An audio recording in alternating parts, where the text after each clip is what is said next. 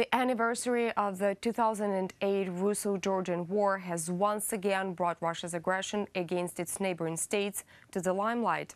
However, the Russian president shows no sign of regret for his actions. For the first time since 2013, Russian President Vladimir Putin came to Abkhazia on Tuesday, the day of the ninth anniversary of the five-day Russia-Georgia war.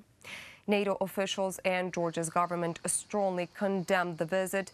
Upon arrival, Putin met with the head of the breakaway province of Abkhazia, Raul Khajimba, and reassured him of Moscow's support. Both NATO officials and the Georgian government called the act a, quote, cynical action.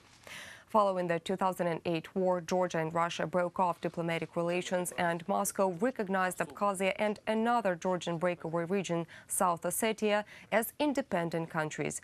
Only a few countries followed Russia's lead.